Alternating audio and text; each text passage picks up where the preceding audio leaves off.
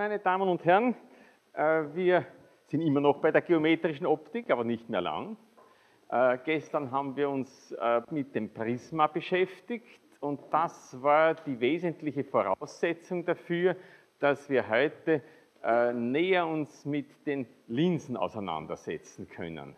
Weil Linsen letzten Endes im Grundsätzlichen eine ähnliche Funktionsweise wie Prismen haben nur heute halt eine etwas andere geometrische Form und daher auch andere optische Eigenschaften. Ich möchte daher ganz kurz resümieren, was wir gestern über das Prisma gesagt hatten. Das ist jetzt nichts Neues, ich schreibe es nur, zeichne es nur kurz noch einmal her und möchte die wesentlichen Teile die wir gestern besprochen haben, noch einmal zusammenfassen. Also ein optisches Prisma ist ein durchsichtiger Körper, meist aus Glas, in Form eines solchen Prismas eben, der da so aus der Tafelebene herausschaut. Und äh, wir nennen den brechenden Winkel dieses Prismas den da hier und nennen ihn Gamma. Und aufgrund der Eigenschaften äh, der Brechung an ähm, Übergang von einem dünneren zu einem dichteren und dann wieder von einem dichteren zu einem dünneren Medium haben wir zuerst eine Brechung zum Lot, dann eine Brechung vom Lot. Daraus ergibt sich insgesamt eine sogenannte Deviation Delta, also der Winkel, um den sich die Richtung des einfallenden Strahls nach Durchtritt durch dieses Prisma verändert. Der brechende Winkel ist Gamma, die Deviation ist Delta. Und wir haben also dann herausgefunden, äh, dass dieses Delta in einer gewissen Näherung, wenn die Winkel alle nicht sehr groß sind, das ist natürlich hier auf der Tafel immer etwas übertrieben gezeichnet, dass man es heute gut sehen kann, aber in der Realität sind die Winkel dann meistens wesentlich kleiner, äh, dass dieses Delta gleich ist Gamma mal n minus 1. Also, es hängt natürlich ab von der Größe dieses brechenden Winkels, nur der ist ja dann für ein Prisma eine vorgegebene Größe, aber dann eben außerdem, ganz wichtig, abhängig vom Brechungsindex des Glases, gegenüber der umgebenden Luft bzw. dem Vakuum. Und dieser Brechungsindex, ich schreibe das auch noch einmal her, weil das so oft dann verwechselt oder vergessen wird, ist nichts anderes als die Ausbreitungsgeschwindigkeit des Lichtes im Vakuum durch die Phasengeschwindigkeit des Lichtes in dem betreffenden Medium, hier dem Glas.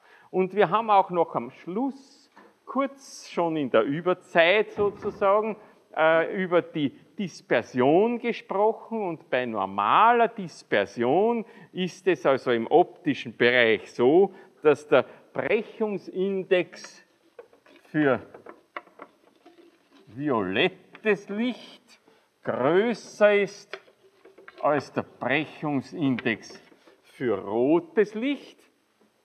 Und wenn das also so ist, dann ergibt sich aus dieser einfachen Formel sofort bei größerem Brechungsindex auch eine größere Deviation.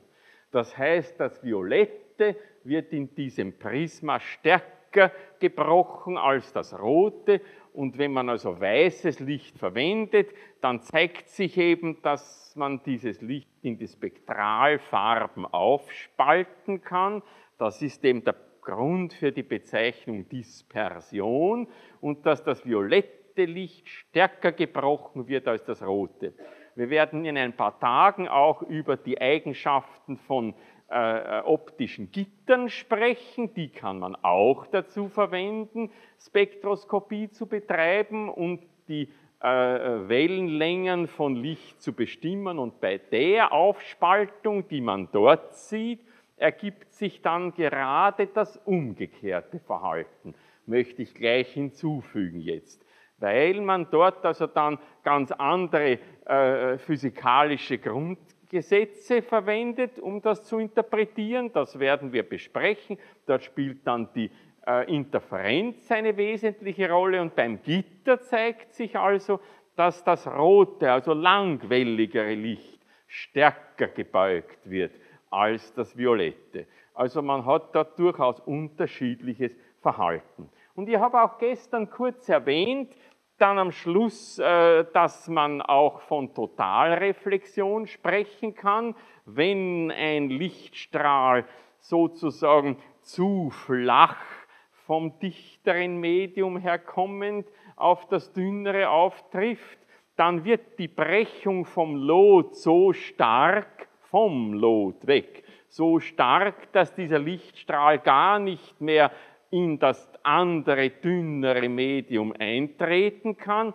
Und ich habe auch das Umkehrprisma erwähnt, wo man also erreichen kann, dass ein Lichtstrahl bei zweifacher Totalreflexion an einem optischen Prisma dann gerade wieder in sich selbst zurückreflektiert wird. Und sowas können wir Ihnen hier auch noch so äh, als Nachtrag mit einem solchen Prisma hier auch wirklich zeigen.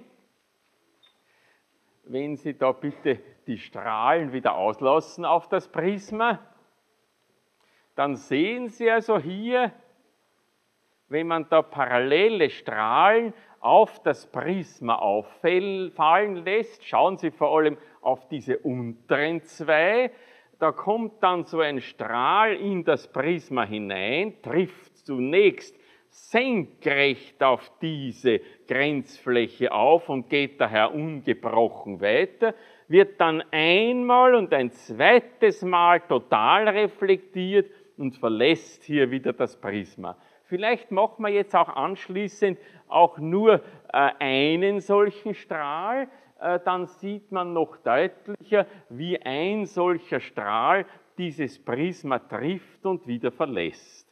Also trifft hier ein, wird zweimal reflektiert und verlässt hier wieder dieses Prisma.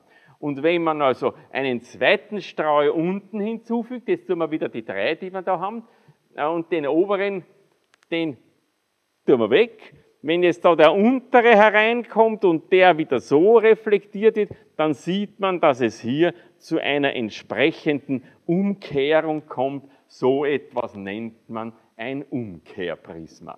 Okay, vielen Dank, Herr Litschauer. Also so viel noch als kleiner Nachtrag zu den Prismen. Insbesondere, wo wir ja eben die Prismen und ihre Eigenschaften jetzt unmittelbar anschließend im Weiteren auch benötigen werden. Jetzt wenden wir uns aber nach den Prismen den Linsen zu. Und bei den Linsen wollen wir uns jetzt zunächst einmal äh, darüber im Klaren äh, werden, was für verschiedene Linsen wollen wir denn überhaupt betrachten. Brechung an Linsen. Und in weiterer Folge schauen wir uns dann natürlich auch an, was ist denn zu erwarten und warum ist das so? Das muss ja aufgrund der geometrischen Optik durchaus leicht erklärbar sein. Also schauen wir uns einmal die Arten von Linsen an, die typischerweise verwendet werden. Und da gibt es also die Linse, von der man am meisten spricht, die bikonvexe Linse. Also da eine konvexe Fläche, da eine konvexe Fläche, bikonvex. Naja, das nächste, was man dann betrachten kann, ist entsprechend das umgekehrte, bikonkav. Eine konkave Fläche, eine zweite konkave Fläche. Die wird zur Mitte hin immer dicker und bauchiger, die wird immer schlanker nach innen und dann nach außen wieder dann dicker. Das muss sich auch in einem anderen Verhalten zeigen. Ja, und dann gibt's noch so Sonderfälle wie plankonvex oder plankonkav. Wieder diese ist innen bauchiger und die andere ist innen schlanker. Und letztlich haben wir dann auch konkav-konvex. Sowas sieht so aus. Das ist eine konkave, das eine konvexe Fläche. Oder konvex-konkav, wo man also dann links die konvexe Fläche hat und rechts eine konkave Fläche. Also eine Reihe von unterschiedlichen Linsenformen, die ich Ihnen hier auf einer solchen optischen Achse heute einmal angeordnet habe. Und dazu ist zu sagen, meistens verwendet man sphärische Linsen. Also diese Flächen, die man hier betrachtet, sind sphärische Flächen.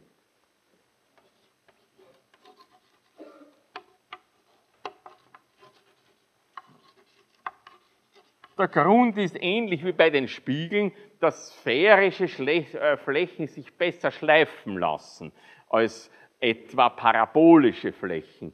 Aber für Spezialanwendungen kann man auch andere Linsen herstellen äh, und die äh, sind dann entsprechend aufwendiger. Wir werden uns also mit sphärischen Linsen auseinandersetzen und es zeigt sich, wenn man gewisse äh, Näherungen macht, insbesondere eben, wenn man wieder Strahlen betrachtet mit kleinen Winkeln und in der Nähe der Achse, dann ergibt es sich so, dass man auch mit sphärischen Linsen sehr sinnvolle Abbildungen erzielen kann. Eine weitere Sache ist, dass man oftmals äh, äh auch äh, Systeme verwendet, wo mehrere Linsen kombiniert werden.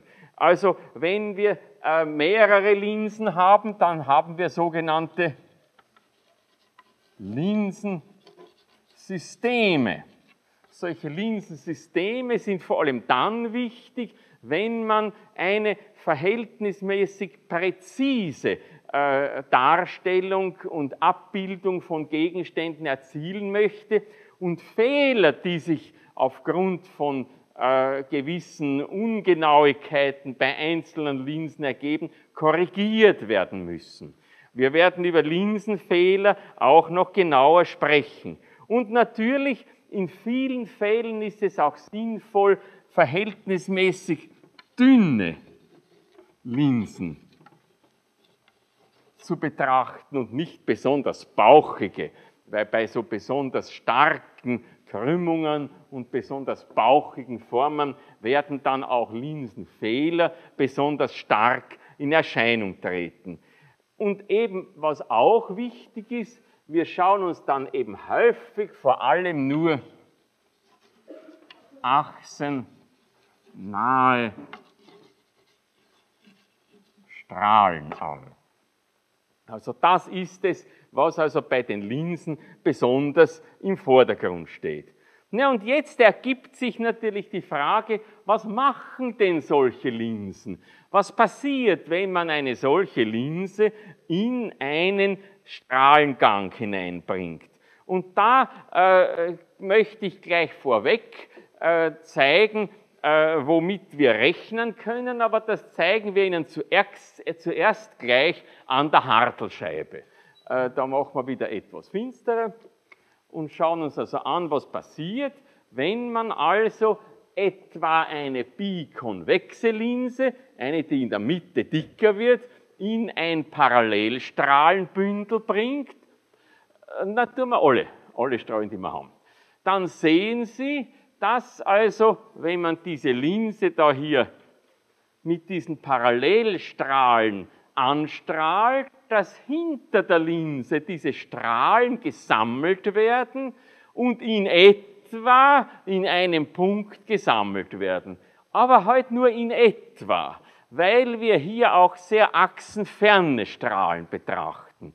Nehmen wir diese achsenfernen Strahlen weg und betrachten nur achsennähere Strahlen, dann wird dieses Verhalten bereits wesentlich äh, genauer sichtbar und man kann also erkennen, dass achsennahes, ein achsennahes Parallelstrahlenbündel durch eine solche bikonvexe Sammellinse, deswegen heißt sie auch Sammellinse, in einem Punkt hinter der Linse gesammelt wird. Diesen Punkt nennen wir in Analogie zu der Situation bei sphärischen Spiegeln den Brennpunkt. Dort, wo also dann alle Energie, die von diesem primären Parallelstrahlbündel herkommt, in einem solchen Punkt gesammelt wird. Und wenn man also da entsprechend intensive Strahlung hat, dann kann es dort schon heiß werden in diesem Brennpunkt. Daher Brennpunkt. Das passiert also, wenn man eine Bikonvexlinse nimmt. Betrachten wir dagegen jetzt eine Bikonkavlinse, also die, die innen schlanker wird. Das ist ja mit dieser Hartelscheibe, Gott sei Dank, sehr leicht möglich, hier einen entsprechenden Wechsel vorzunehmen. Und wenn wir wieder jetzt die Strahlen alle betrachten, dann sehen Sie wieder ein Parallelstrahlenbündel von links aber es passiert jetzt das Umgekehrte. Die Strahlen werden nicht gesammelt, sondern zerstreut. Wir haben eine sogenannte Zerstreuungslinse. Und da gibt es also hier hinter der Linse gar keinen Brennpunkt. Aber Sie können sich schon überlegen, man kann natürlich, wenn man möchte, die Lichtstrahlen nach hinten verlängern. Das wäre also eine Stelle, die dann ein Beobachter, der hinter der Linse sich befindet, vermuten würde, wo der Strahl herkommt.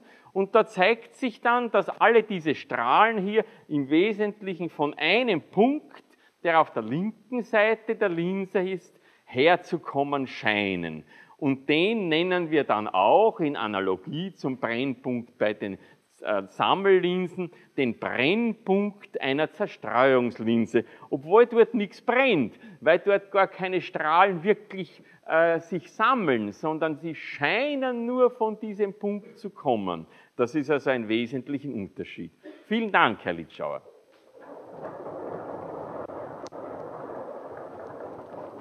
Ich fasse das auch, wenn man das da, soll ich da drauf, drücken?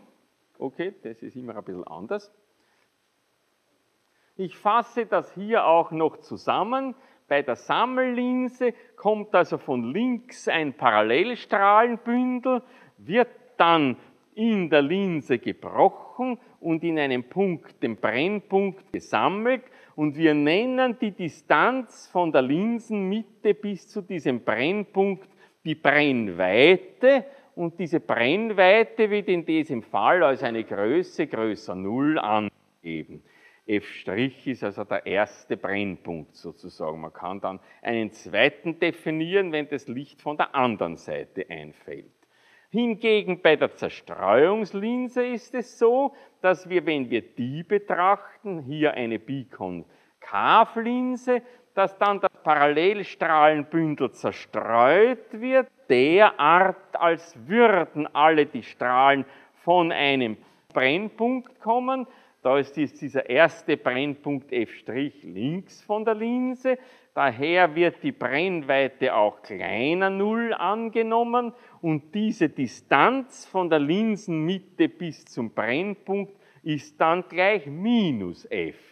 Wenn f kleiner Null ist, ist die Distanz, so wie es sich für Distanzen gehört, natürlich wieder eine Zahl größer Null. Also hier sehen Sie, die Bedeutung des Brennpunktes bei Sammel- und Zerstreuungslinsen und insbesondere für den Fall der Sammellinsen erweist es sich oft als sehr nützlich, dass man schnell erkennen kann, so durch ein Freihandexperiment gewissermaßen, wie groß ist denn die Brennweite meiner Sammellinse? Und das ist etwas, was Sie eigentlich schon bei dieser kurzen Optikeinführung auch kennenlernen sollten. Und damit ich Ihnen das zeigen kann, hat der Herr Litschauer daher für Sie eine Lichtquelle aufgebaut, wo also dann Licht so quer durch den ganzen Hörsaal hindurch gesendet wird. Und wenn ich nun wissen möchte, was hat diese Sammellinse hier für, einen, für eine Brennweite, dann ist es zweckmäßig, diese Linse mit einem möglichst parallelen Strahlenbündel zu beaufschlagen. Das heißt, ich gehe von meiner Lichtquelle ein Stück weg, zum Beispiel bis hierher.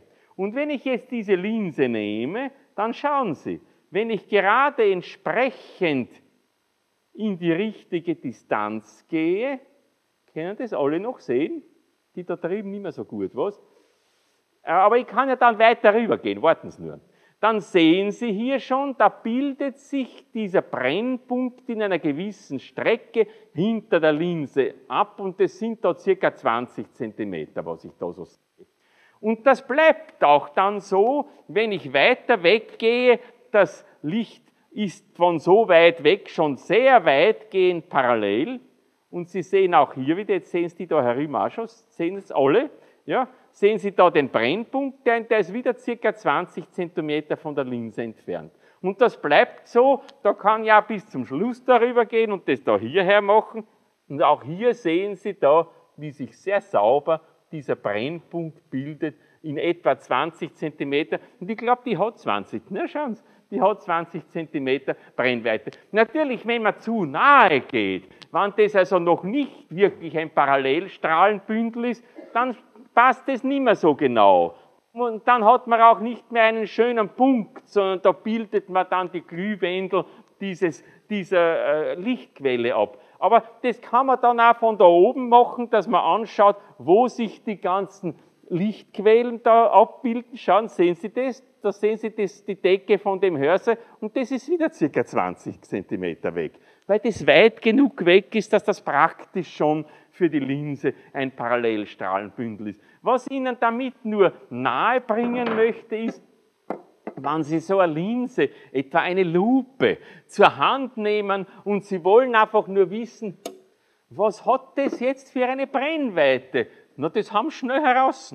Dann, wenn die Sonne scheint, ist überhaupt ganz gut, nur da wird es dann meistens ein bisschen heiß im Brennpunkt, aber dann haben sie ein besonders paralleles Strahlenbündel und können sich natürlich wunderbar anschauen, äh, was man da dann für eine Brennweite hat. Also das wollte ich Ihnen nur zeigen und ich danke Ihnen, Herr Litschauer, dass Sie mir das Parallelstrahlenbündel zur Verfügung gestellt haben.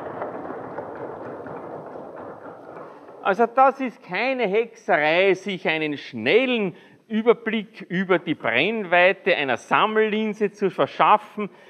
Wenn man es genauer wissen muss, muss man auch genauer schauen. So was machen wir ja in dem begleitenden Methodenpraktikum. Äh, wenn man da äh, äh, Brennweiten genauer bestimmen möchte, auf das gehe ich hier im Einzelnen jetzt gar nicht ein. Und natürlich auch die Brennweite von Zerstreuungslinsen ist wichtig, aber das kann man so leicht mit Freihand versuchen dann nicht machen. Aber äh, da haben Sie ja dann im Praktikum einige Erfahrungen dazu schon gemacht. Bitte. Also, wenn die, natürlich hat jede Glasoberfläche auch Reflexionseigenschaften. Daher wird ein kleiner Prozentsatz von der einfallenden Strahlung auch reflektiert und das ist dann wie ein sphärischer Spiegel und hat natürlich genau die Eigenschaften eines sphärischen Spiegels. Aber die Brennweite dieses sphärischen Spiegels muss nicht gleich sein der Brennweite der Linse. Über das werden wir später heute noch sprechen, wie die Brennweite einer Linse mit dem Krümmungsradius der entsprechenden Glasoberflächen der Linse zusammenhängt. Und da zeigt sich, dass das also in manchen Fällen analog geht, wie bei den sphärischen Spiegeln, in anderen nicht. Sie haben praktisch nur 5% des Lichtes wie an einem sphärischen Spiegel reflektiert. Aber das ist meistens ein sehr kleiner Bestandteil des gesamten Lichtes und gut, dass Sie das auch erwähnen. Wenn man also möglichst qualitätvolle Abbildungen mit Linsen erzielen möchte, dann schaut man auch drauf, dass zumindest in dem Wellenlängenbereich, der relevant ist, die Oberflächen der Linsen vergütet sind. Das heißt also vor allem entspiegelt sind, dass solche Irritationen nicht passieren werden. Außerdem machen das die Optiker gern, weil wer hat schon gerne Linsen auf, die dann spiegelt nach alle Seiten. Nicht? Also auch rein schon aus, aus, aus ästhetischen Gründen bei Linsen macht man Entspiegelung gelungen. Aber nicht nur das, es erhöht auch die Qualität der Abbildung. Gut, also jetzt haben wir schon ein bisschen was über die Linsen gelernt. Jetzt wollen wir uns anschauen, wie also nun wirklich insbesondere für den sehr häufigen und wichtigen Fall einer Sammellinse diese Abbildung und insbesondere diese Sammlung eines Parallelstrahlenbündels in einem Brennpunkt wirklich zustande kommt. Und da werden wir also die Brechung an sphärischen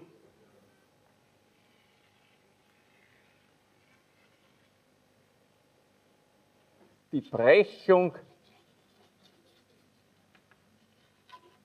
an sphärischen, dünnen Linsen speziell betrachten. Also sphärische Linsen, dünne Linsen und wir werden hauptsächlich achsennahe Strahlen betrachten. Und kein Linsensystem, sondern nur eine Linse. Und insbesondere betrachten wir zunächst eben eine Sammellinse. Das ist also bikonvex, die erste von diesen verschiedenen Sorten, die ich Ihnen da hier aufgezeichnet habe. Und das ist also schon eine etwas aufwendigere Geschichte, wo also meine Zeichenkünste da an der Tafel wieder sehr gefordert sind und ich hoffe, dass es einigermaßen übersichtlich bleibt. Also ich werde hier mal großmächtig eine optische Achse erzeugen und wir werden einmal da zunächst eine sphärische, also eine sphärische bikonvexe Linse aufzeichnen. Die möge also zum Beispiel so ausschauen. Jetzt werden Sie sich vielleicht denken, der hat doch über dünne Linsen gesprochen. Also das ist alles andere als eine dünne Linse. Aber ich sage Ihnen ja, damit man das Ganze irgendwie zeigen kann, muss sich natürlich übertreiben, sonst sieht man vielerlei gar nicht, was man eigentlich braucht, um die Dinge zu verstehen. Also nehmen wir an, das sei jetzt einmal unsere sphärische dünne Linse, eine bikonvexe Sammellinse. Naja, das Erste, was wir hier betrachten müssen und betrachten werden, sind die Krümmungsmittelpunkte dieser beiden sphärischen Flächen. Na, der Krümmungsmittelpunkt ist vielleicht da, der Krümmungsmittelpunkt Sie können sich denken, dass das jeweils eine Kugelfläche ist mit dem Mittelpunkt hier und die Kugelfläche mit dem Mittelpunkt hier. Wir nennen daher diesen Krümmungsmittelpunkt auch O2, weil er sich auf diese zweite Fläche bezieht und O1, weil er sich auf diese erste Fläche bezieht. Wir tun immer von links nach rechts. Das hat sich irgendwie so eingebürgert. Das Licht kommt von rechts, äh, von, von links und meistens steht dann da auch der Gegenstand und irgendwo da drüben ist dann das Bild. So sind also die üblichen Darstellungen, damit das Ganze halt ein gewisses Schema hat. Das ist nicht, weil das so sein muss und nicht, weil mir das so gefällt, sondern weil es irgendwie auch einfacher ist, es sich zu visualisieren, wenn man in einer solchen Weise vorgeht. Naja, und jetzt schauen wir einmal an, wenn ein Licht von einem Punkt A ausgeht, ein Lichtstrahl, der also diese Linse trifft, was man da erwarten kann. Gehen wir einmal davon aus, dieser Lichtstrahl trifft hier die erste Fläche äh, dieser Sammellinse. Naja, da wird also dann hier einmal eine Brechung erfolgen und das Lot ist das, das hier durch den Krümmungsmittelpunkt geht. Dieses, dieser Radius steht natürlich senkrecht an der Stelle auf diese sphärische Fläche. Naja, also hier hat man einen rechten Winkel. Und es wird eine Brechung, wenn man da vom dünneren ins dichtere Medium geht, jetzt wie? Vom oder zum Lot? No? Zum Lot. Wenn es ins dichtere Dichtere geht, geht es immer zum Lot. Also, eine Brechung zum Lot stattfindet. Das Lot ist da. Wenn es zum Lot geht, geht es also etwa da hier so herüber. Brechung zum Lot. Naja, aber jetzt trifft es also wieder eine weitere sphärische Fläche und da geht es wieder ums Lot äh, auf, diese, auf diese Fläche und das ist dieses Lot. Da ist hier wieder ein rechter Winkel. Jetzt haben wir eine Brechung beim Austritt, also das muss man anzeichnen, da das rein. Jetzt der Austritt, da geht es jetzt vom dichteren ins dünnere Medium. Na, da brauche ich nicht mehr fragen, das ist jetzt klar, nicht Brechung vom Lot. Also das wird dann entsprechend der Winkel da wieder größer werden und das geht dann irgendwie da so herunter und trifft da auf einen Punkt B wieder die Achse. So kann man sich also äh, im Prinzip leicht überlegen, so muss wohl der Strahlenverlauf durch diese Linse stattfinden. Ich glaube, das ist leicht zu verstehen. Na, was jetzt wichtig ist, ist, dass man hier natürlich für diesen konkreten Fall das Verhalten dieser Linse durch das Verhalten eines Prismas äh, äh, modellieren kann. Denn Sie können da hier eine Tangentialfläche anlegen, die geht da herauf, da eine Tangentialfläche, die geht da herauf und da haben Sie ein Prisma damit, das genau das Gleiche macht für diesen speziellen Strahl wie die Linse. Weil in dieser unmittelbaren Stelle ist ja dieses Prisma da tangential an diese an diese gekrümmte Fläche und für den Strahl hat das die gleichen Eigenschaften. Damit haben wir insbesondere da oben den brechenden Winkel Gamma, so wie da. Und natürlich außerdem, wenn Sie das da hier so verlängern und das da auch verlängern, dieser Winkel hier, das ist die Deviation Delta. Die gesamte Richtungsänderung des Strahles vom Eintritt in die Linse bezüglich, beziehungsweise dieses Modellprisma bis zum Austritt wieder. Nicht? Also ich glaube, das kann man schon recht deutlich sehen. Und wir wollen jetzt, damit wir wissen, worüber wir reden, diese Winkel auch noch bezeichnen. Das sei Alpha 1, dann das ist Beta 2, weil es zu dem O2 gehört. Dann haben wir da Beta 1, und dann haben wir da ein Alpha 2, na, weil es zum Bild, zum, zum, zum Punkt B gehört. Zuerst geht es ja da weg, dann kommst du da herüber. Nicht? A, B. Wollen wir uns so überlegen. Und außerdem, dann werden wir hier mit R2 die, den Krümmungsradius der zweiten, der hinteren Fläche und da mit R1 den Krümmungsradius der ersten vorderen sphärischen Fläche haben. Und wollen wir uns außerdem noch hier diese Höhen einzeichnen. Diese Höhen da stehen natürlich senkrecht auf die optische Achse und wir nennen sie H1 und H2. Und wenn ich sonst nichts vergessen habe, doch, etwas habe ich noch vergessen, wir können nämlich außerdem völlig analog zu dem, was wir da hier seinerzeit äh, gestern gezeichnet haben, auch uns überlegen, dass dieser brechende Winkel Gamma da noch einmal auftritt in dieser Zeichnung als normalen Winkel. Denn senkrecht auf diese Richtung steht die, senkrecht auf diese Richtung steht die. Das heißt, das Gamma kommt da drinnen noch einmal vor. Der Winkel zwischen diesen beiden Loten auf entsprechenden Glasoberflächen hat den, ist gleich groß wie der brechende Winkel da oben und das Delta ist eben die gesamte Deviation. Jetzt aber glaube ich, doch noch was habe ich vergessen. Aber äh, es macht ja nichts. Nicht? Man kann ja schrittweise alles zusammensammeln, was man so braucht. Aber bevor ich jetzt noch was einzeichne, noch glaube ich, ist die Zeichnung einigermaßen erträglich. Äh, ist Ihnen die Geometrie, geometrische Situation hier einigermaßen verständlich? Wissen Sie, worum es geht? Wir wollen nichts anderes als nachschauen, was passiert mit einem Strahl, der von da hier ausgeht und da die Linse trifft.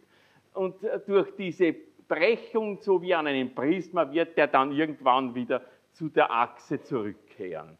Und alle diese Bezeichnungen, Winkel und Längen und Raden und so weiter, sollen uns jetzt dazu dienen, dass wir da uns einen geometrischen Überblick verschaffen.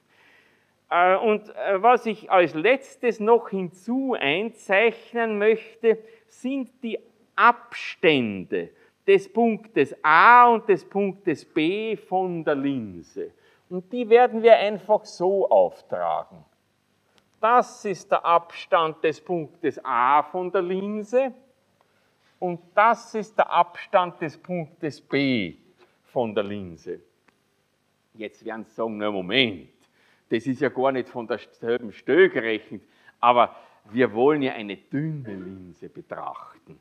Das ist ja da so fett, damit ich das alles schön zeichnen kann. Aber wenn das eine dünne Linse ist, dann sind die Radien größer, dann ist es nur ganz flach, dann spielt das gar keine Rolle mehr, dass das da nicht der gleiche Punkt ist. Dann kann man diese Ungenauigkeiten vernachlässigen, wenn eben die Dicke der Linse klein ist gegen die sonstigen Dimensionen.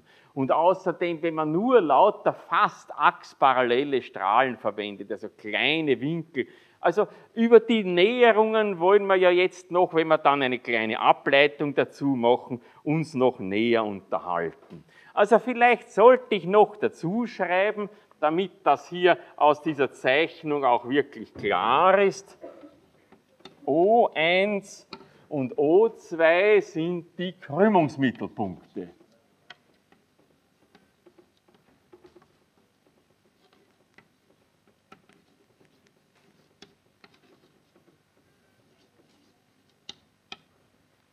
Und A und B, das, na, das, das ist klar, nicht herschreiben. Das sind die Punkte, wo die Lichtstrahlen ausgehen und wieder zurückkommen, aber R1 und R2 sind die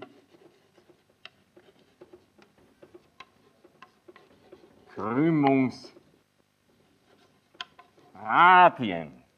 Das ist das, was ein Linsenmacher wissen muss. Wenn der eine Linse herstellen soll und Sie sagen ihm, was wollen Sie, was will ich für eine Linse, dann wird er sich fragen, na, was soll denn der Krümmungsradius der einen und der anderen Fläche sein? Das ist das, worum es eigentlich geht bei der Herstellung von Linsen. Was also eigentlich die Krümmungsradien sind. Und was man hier natürlich auch noch dazu schreiben sollte, ist, wie dieses Delta und dieses Gamma mit den anderen Winkeln zusammenhängt. Also schauen wir mal das Delta an. Da betrachten wir dieses Dreieck, schauen Sie mal, von hier bis da herauf und dann wieder da heraus. Ein solches Dreieck schauen wir uns an. Da sind das die Winkel Alpha 1 und Alpha 2 in dem Dreieck und das Delta ist ein Außenwinkel dieses Dreiecks. Und wegen der ganz trivialen Zusammenhänge, weil die Winkelsumme im Dreieck 180 Grad ist, muss dieses Delta daher gleich Alpha 1 plus Alpha 2 sein. Ist das akzeptabel für alle?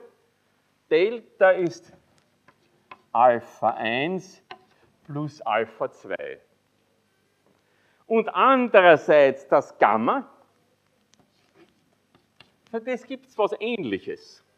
Da schauen wir uns jetzt dieses Dreieck an. Von O2 bis da herauf, da wieder herunter und da wieder zurück. Und Sie sehen, jetzt haben wir da die Winkel Beta 1 und Beta 2 dem Dreieck und das Gamma ist für dieses Dreieck ein Außenwinkel. Also haben wir jetzt entsprechend die Summe der beiden ist gleich das Gamma. Gamma ist also gleich Beta 1 plus Beta 2. Ich muss hier bei der Stelle betonen, diese Bezeichnungen für Alpha und Beta sind nicht ident zu den Bezeichnungen, die wir gestern beim Prisma hatten.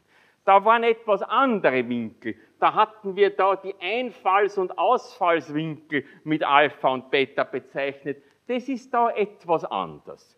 Macht ja nichts. Wir wollen also jetzt bei der Bezeichnungsweise bleiben und ich möchte Ihnen jetzt übrigens, damit Sie nicht nur an meiner, äh, an meiner Hand äh, gezeichneten Zeichnung hängen bleiben, auch die da herlegen.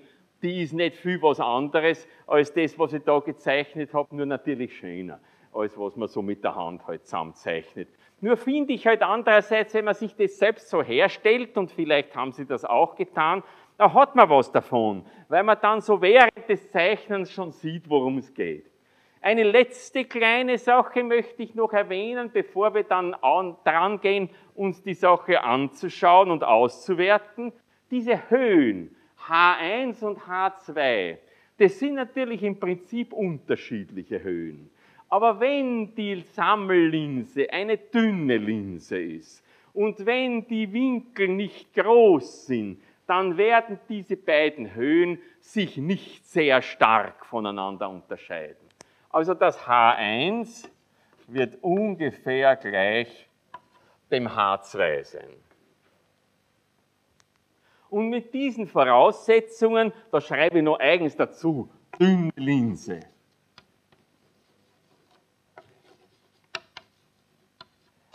Um klar zu machen, wir beziehen uns ja hier auf dünne Linsen.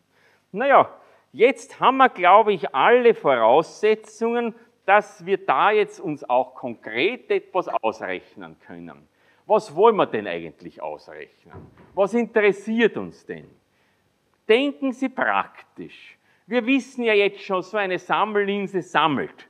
Sie haben sogar gesehen, dass man den Brennpunkt in sehr einfacher Weise so ganz gut ermitteln kann, so in einem Freihandexperiment äh, und äh, dass man daher auch die Brennweite recht schnell kriegt.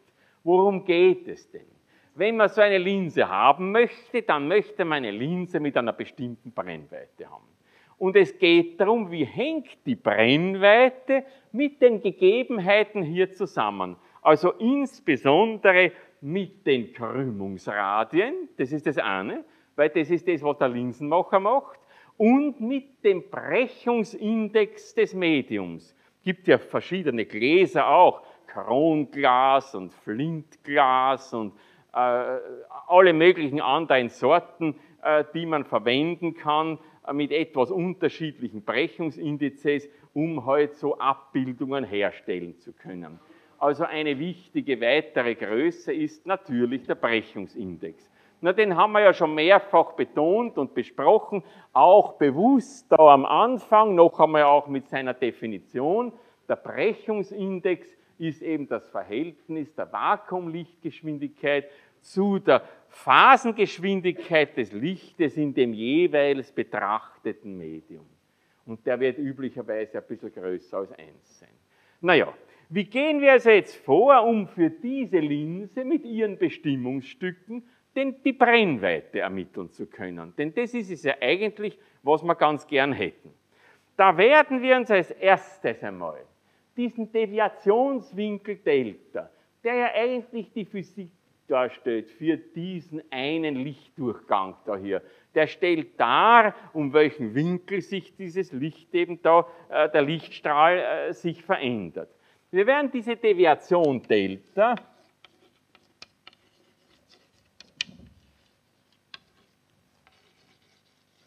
auf zwei Arten berechnen. Und dann entsprechend schauen, wie wir da also jetzt äh, eine, äh, daraus eine Schlussfolgerung ziehen können. Einmal geometrisch. Nur da braucht man nur das nehmen, was dort oben steht. Delta ist Alpha 1 plus Alpha 2. Das ist also der Winkel den der Lichtstrahl zur Achse einschließt, wenn er einmal von dem Punkt A ausgeht und Alpha 2 wieder der Winkel, den der Lichtstrahl wieder dann mit der Achse einschließt, wenn er aus der Linse wieder herauskommt. Und andererseits aber können wir dieses Delta ja auch ausrechnen als, das ist also geometrisch, als, so wie es da oben steht, Gamma mal n minus 1.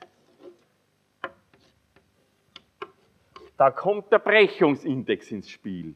Da haben wir die Überlegung, dass eben für diesen speziellen Lichtstrahl diese Linse dasselbe tut, was ein Prisma mit diesem brechenden Winkel Gamma tun würde, wenn man es dort überstülpt gewissermaßen. Also Gamma mal n minus 1 oder wir können auch schreiben n minus 1 mal und für das Gamma setzen wir da oben jetzt ein Beta 1 plus Beta 2 entsprechend unserer Überlegung.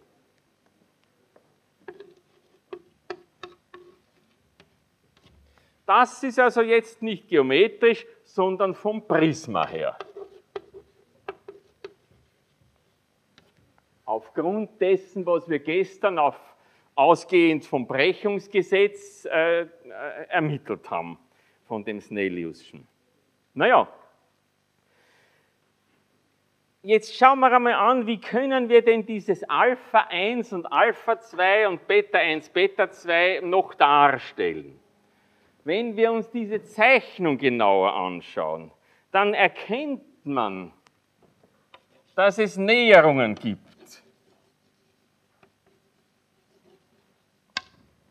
Einerseits für Alpha 1 und Alpha 2.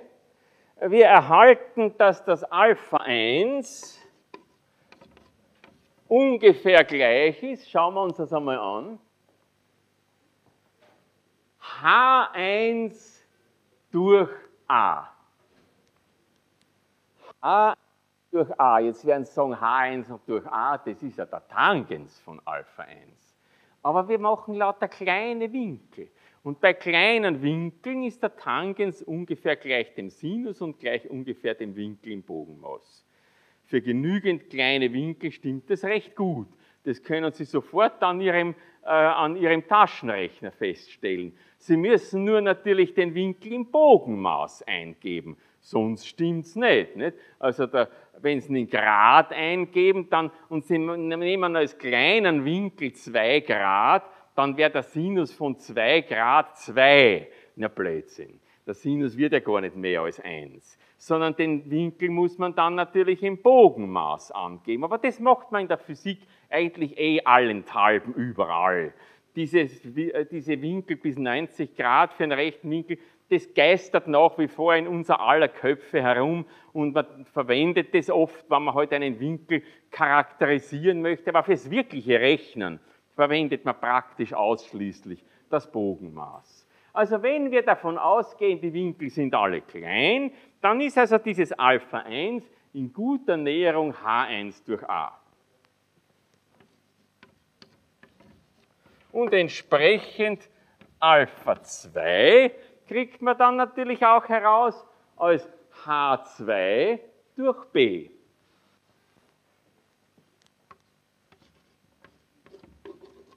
Dazu ist auch zu sagen, das ist es ja eigentlich, wie die Definition des Winkels ist. Länge des Bogens durch Radius.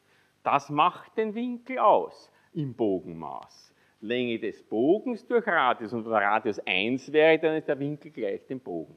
Naja, also daher H2 durch B, dieser Winkel Alpha 2 im Bogenmaß natürlich.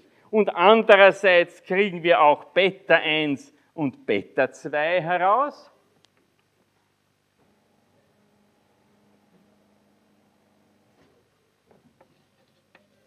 Beta 1 lässt sich also auch recht schön darstellen. Dann nehmen Sie äh, wieder so Dreigeln her. Dann nehmen Sie H2 durch A, äh, H2 durch R2, so H2 durch R2 ist näherungsweise das Beta 2.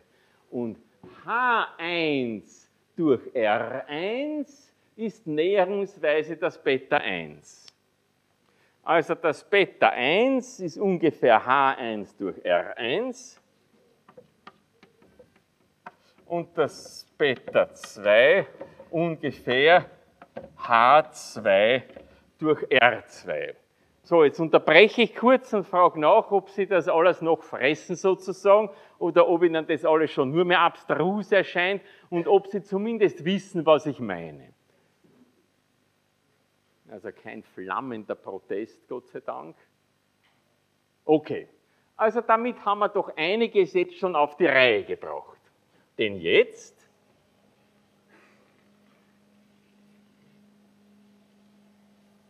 Jetzt können wir das, was wir da haben, diese Alphas und Betas, in diesen obige Beziehungen einsetzen.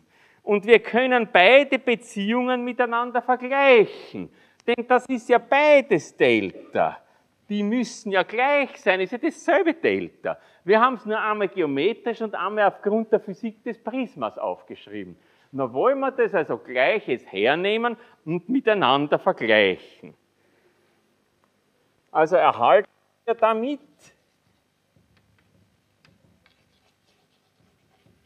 durch Vergleich Folgendes. Das Delta gemäß dieser geometrischen Überlegung und das andere, das Delta gemäß Prisma, setzen wir gleich. Und setzen dabei gleich diese Alphas und Betas von da herunten ein. Und kriegen damit das Delta hier ist Alpha 1 plus Alpha 2, das ist also H1 A plus H2 durch B. Schreiben wir vielleicht her, Delta ist gleich. H1 durch A plus H2 durch B. Das ist also Alpha 1 plus Alpha 2, H1 durch A plus H2 durch B.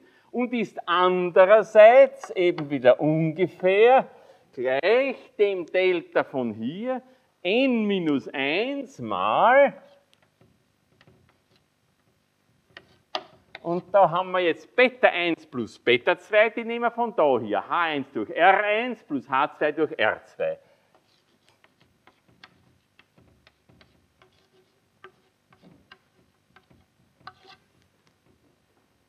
Beides ist Delta. Naja, wir haben da oben schon geschrieben, wegen der dünnen Linsenannahme, dass H1 ungefähr gleich H2 ist. Wenn man das einmal annimmt, dass die beiden gleich sind, äh, dann kriegen wir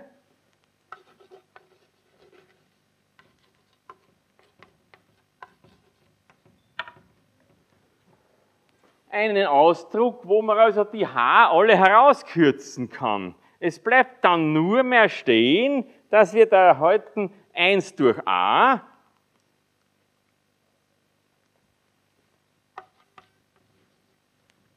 plus 1 durch b ist gleich n minus 1 mal 1 durch R1 plus 1 durch R2. No, das ist schon ganz schön. Damit haben wir schon eine recht gute Möglichkeit, die Eigenschaften dieser Linsen äh, darzustellen. Nur Brennweite ist dabei noch keine herausgekommen. Aber Sie können äh, davon ausgehen, wenn Sie sich also diese Gleichung näher anschauen, ich kastel sie noch nicht ein, weil es noch nicht unsere Endgleichung ist, wenn Sie diese Gleichung anschauen, dann sehen Sie jedenfalls, dass diese Beziehung hier, die da steht, nicht mehr explizit die Winkel Alpha 1 und Alpha 2 enthalten.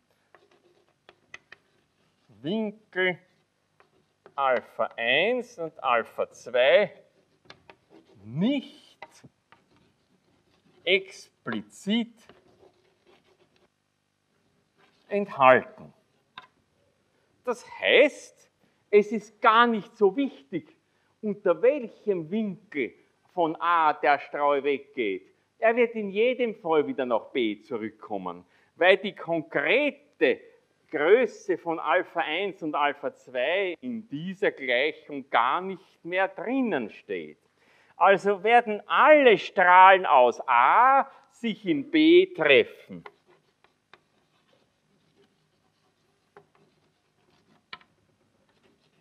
Alle Strahlen aus A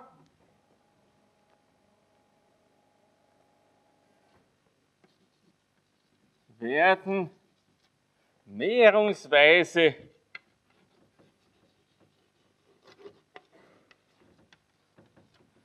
durch B hindurchgehen.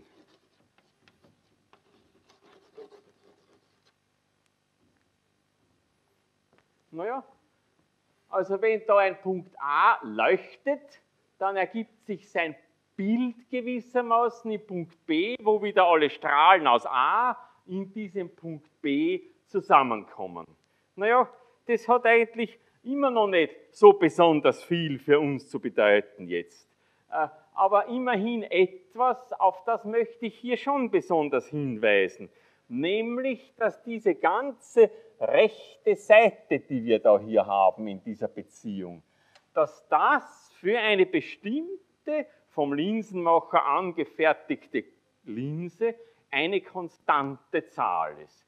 Denn da steht nur was drin über den Brechungsindex des Glases, was er halt verwendet hat, und dann die zwei Krümmungsradien, die er halt eingestellt hat an seiner Schleifmaschine, dass er dann die entsprechende Linse hergestellt hat.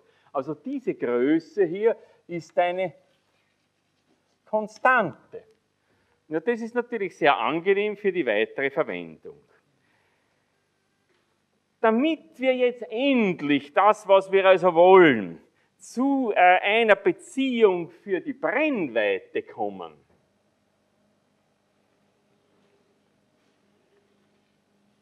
machen wir jetzt dasselbe, was ich Ihnen vorhin da mit diesem Versuch als Freihandversuch gezeigt habe. Wir lassen den Punkt A, wo diese Strahlen alle herkommen, weit weg von der Linse. Wir, gehen zum Beispiel mit der Linse bis daher. Und dann ist der Punkt da, der drüben leuchtet, also praktisch im Unendlichen. Für den Physiker ist es längst unendlich weit weg im Verhältnis zu den Dimensionen des Systems, das man hier betrachtet. Wenn man das jetzt statt 10 Meter 50 Meter weggibt, wird sich da fast nichts Nennenswertes mehr ändern.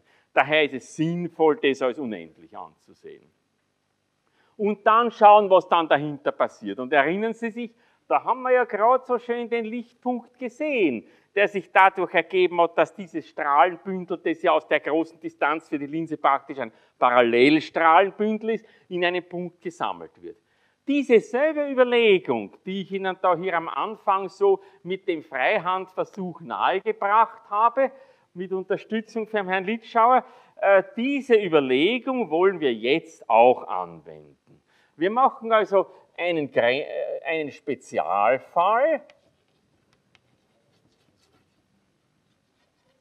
der darin besteht, dass wir die Größe a, den Abstand dieses Punktes a von der Linse, dass wir den gegen unendlich gehen lassen. Also den Punkt a weit wegrücken von der Linse. Naja, wenn wir das machen, dann wird also aus den einfallenden Strahlen, die von a kommen, de facto im Grenzwert ein Parallelstrahlenbündel. Ja, dann haben wir aber genau das, was wir uns da schon angeschaut haben, dass also auf diese Linse dann eben ein Parallelstrahlenbündel auftrifft und dann wird also der Punkt, wo die alle hinkommen dann nachher, das ist ja der Punkt B, wird dann der Brennpunkt. Und damit wird das B, der Abstand von dem Punkt von der Linse, die Brennweite. Na, genau das wollen wir ja. Nicht? Also in dem Fall wird also, wenn man diese äh, Näherung oder diesen Spezialfall macht, dann wird sich damit ergeben, in diesem Spezialfall, dass die Größe b, der Abstand des Punktes b von der Linse, dass dieses b gegen die Brennweite f gehen wird. Ja, und das ist jetzt leicht zu machen. Denn wenn wir das a gegen unendlich gehen lassen, in der Gleichung, naja, dann geht 1 durch a gegen 0. Nur dann ist es einfach weg. Und es bleibt nur das 1 durch b, aber das geht ja gegen f. Das heißt, er bleibt dann auf der linken Seite in diesem Grenzfall stehen, als Folgerung, das 1 durch f, wieder in den üblichen Näherungen, die wir natürlich immer gemacht haben. Da muss man schon aufpassen mit Gleichheitszeichen, also wirklich gleich ist es eben nicht, weil man halt doch etliche Näherungen macht, sonst wird es viel komplizierter natürlich. Nicht? Dass das eben gleich ist oder näherungsweise gleich ist dem n minus 1 mal, und da bleibt jetzt 1 durch R1 plus 1 durch R2. An dieser Sache, wo wir ja schon gesagt haben, das ist konstant, das ist linsenspezifisch, ändert sich ja nichts. Wenn ich da das A gegen unendlich gehen lasse, nur das lässt die Linse ja kalt. Diese Sachen mit, Brenn, mit, mit, mit äh, Brechungsindex und äh, Krümmungsrad in der Linse, das bleibt ja, was es ist. Diese Linse, die ich da in der Hand gehabt habe, war auch immer dasselbe, nur dieser Punkt A ist halt weit weggewandert. Daher bleibt das alles so stehen und man erhält dann damit also das, was man gemeinhin als die Linsenmacher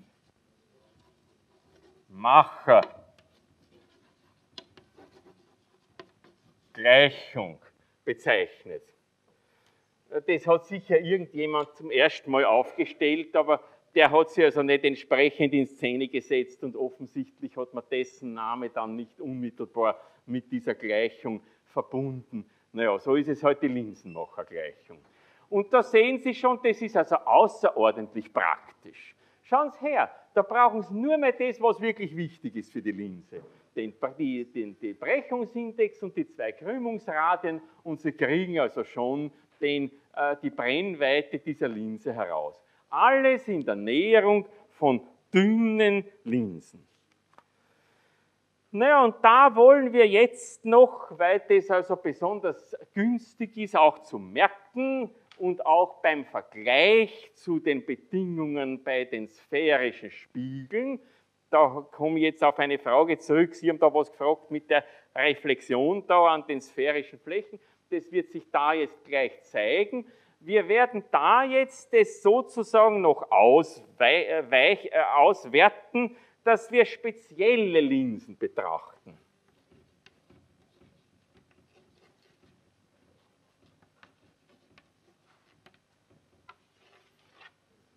Und als spezielle Linsen schauen wir uns einmal solche an, wo beide Flächen die gleiche Krümmung haben. Das wird oft gemacht weil das ist ja nicht unbedingt erforderlich, dass die zwei Flächen unterschiedlich, das braucht man nur dann, wenn man ein ganz ausgefuchstes Linsensystem aus mehreren zusammengekitteten und zusammengefügten Linsen aufbaut, so wie es also bei den äh, teureren Kameras verwendet werden, äh, wo also verschiedene Fehler, über die morgen zu sprechen sein wird, noch korrigiert werden können, wo man das braucht, aber normalerweise für Lupen zum Beispiel oder andere, andere da müssen Sie nicht sich auch ausgerechnet für jede Krümmung einen anderen Radius überlegen. Da nimmt man halt die Geschichte symmetrisch. Genau genommen habe ich das da oben eh so eingezeichnet. Nicht? Aber das muss da oben nicht so sein. Nicht? Aber wenn wir also jetzt da annehmen, dass R1 gleich R2 ist, na machen wir das nicht hier. Äh, wir werden noch einen anderen Spezialfall betrachten, wo das nicht so ist. Also, eine spezielle Linse, die wir betrachten wollen, ist die, wo also die beiden Flächen gleiche Krümmung haben.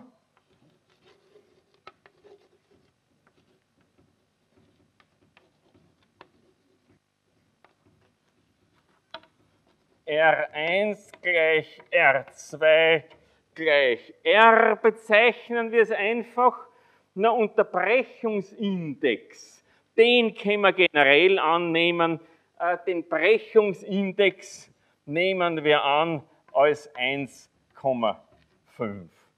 Das ist halt, was bei Glas so typischerweise ist. Wir reden ja von Glaslinsen in erster Linie.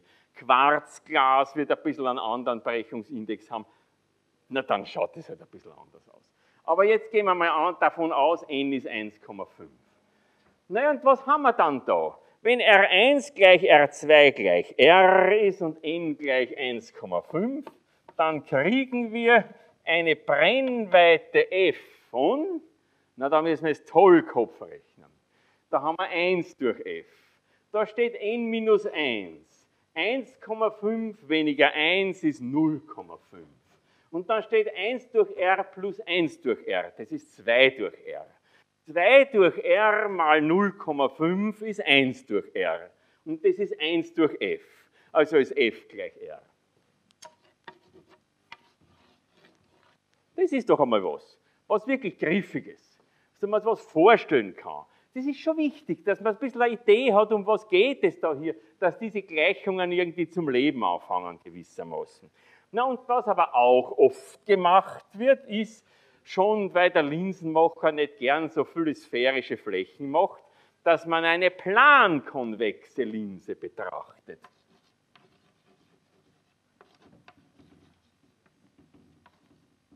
Das ist sowas, was da oben das dritte von links ist. Da ist eins schön plan und nur das zweite hat also so eine Krümmung. Nicht? Plankonvex. Na, was bedeutet das bei plankonvex? Der Brechungsindex ist wieder 1,5. Dann ist der eine Krümmungsradius ist R. Und wie groß ist der andere? Unendlich. Eine plane Fläche, da muss der Radius dann gegen unendlich gehen. Na, das ist ja für uns überhaupt kein Problem. Da haben wir da 1 durch R plus äh, 1 durch unendlich ist 0. Das sind so diese Physikersprüche. Nicht? Also bleibt da nur 1 durch R. Und dann haben wir da n minus 1. Das ist 0,5 mal 1 durch R ist 1 durch F. Und daraus ergibt sich, dass das F ungefähr gleich 2R ist. Also R1 ist R. Na, R1 ist, geht gegen unendlich. R2 ist gleich R und es ergibt sich daraus, dass F ist ungefähr gleich, was haben wir gesagt, 2, äh, 2R.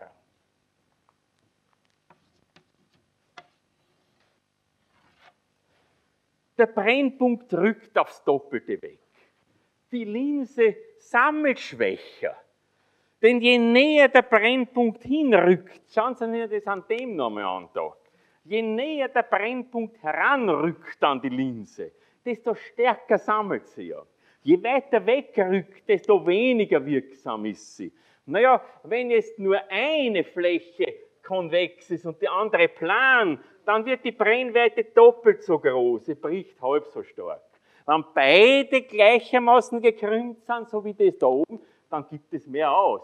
Und dementsprechend ist die, ist die Brennweite halb so groß und die, die, die, die Sammelleistung sozusagen der Linse doppelt so groß. Und damit man das, was ich da jetzt so etwas unvernünftig als Sammelleistung bezeichnet habe, auch physikalisch etwas besser charakterisieren kann, verwendet man hier auch den Begriff der Brechkraft einer Linse.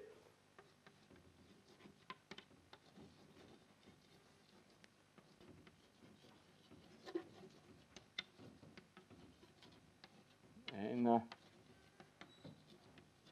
Linse. Diese Brechkraft wird manchmal als D bezeichnet und dieses D ist nichts anderes als 1 durch F. Die Dimension der Brechkraft ist daher Meter hoch minus 1 und das nennt man auch die berühmte Dioptrie, nicht das, was man bei den Linsen hat. Nicht? Das ist die reziproke Brennweite in Metern. Ganz einfach. Und je kleiner die Brennweite wird, desto größer wird die Brechkraft. Und wenn man doppelt so viel Dioptrien hat, dann ist die Brennweite von der Linse, die man da vor den Augen hat, eben halb so groß. Und daraus erkennen Sie also schon, dass eben äh, hier die äh, die, äh, die Bikonvexlinse, die erste da links, die doppelte Brechkraft hat wie die Plankonvexlinse. Ich glaube, das ist damit sehr anschaulich. Und Sie können sich daher sehr gut vorstellen, wie also diese, äh, diese äh, Brechkräfte auch wirklich sinnvoll verwendet werden, um das, die Eigenschaften von Linsen darzustellen. Naja, Jetzt wissen wir also, wie die Linsenmacher ihre Linsen herstellen und na, sie werden jetzt nicht anfangen, Linsen herstellen, aber was ich meine ist, sie wissen, wie hängen die Dinge, die geometrischen Gegebenheiten einer Linse mit ihrer Brennweite zusammen. Und zu dem Punkt mit der Reflexion, wenn Sie sich das anschauen, das f ungefähr gleich 2r, das ist ganz analog zu dem, äh, äh, was wir gehabt haben äh, bei den sphärischen Spiegeln. Auch dort hatten wir eine ähnliche Beziehung zwischen Brennweite und Krümmungsradius. Das kann man also hier in ähnlicher Weise äh, wiederfinden. Morgen werden wir jetzt aber dann ausgehend von dem, was wir hier gelernt haben, auch uns anschauen, wie man jetzt mit Hilfe von solchen Linsen auch Bilder konstruieren kann. Und zwar einerseits reelle, so wie zum Beispiel beim Beamer, oder aber auch virtuelle, wie bei der Lupe. Das schauen wir uns morgen an und damit werden wir dann anschließend noch, was denn so Linsen auch für Fehler aufweisen. Da haben wir sehr schöne Experimente, um das zu zeigen. Also es zahlt sich aus, auch noch so spät im Semester in die Vorlesung zu kommen. Wir haben noch nicht all unser experimentelles Pulver verschossen. Es gibt noch einige Experimente, die recht interessant sein werden. Äh, und dann beginnen wir aber mit anderen wichtigen Kapiteln der Optik. Äh, das werden Sie dann schon sehen. Dankeschön.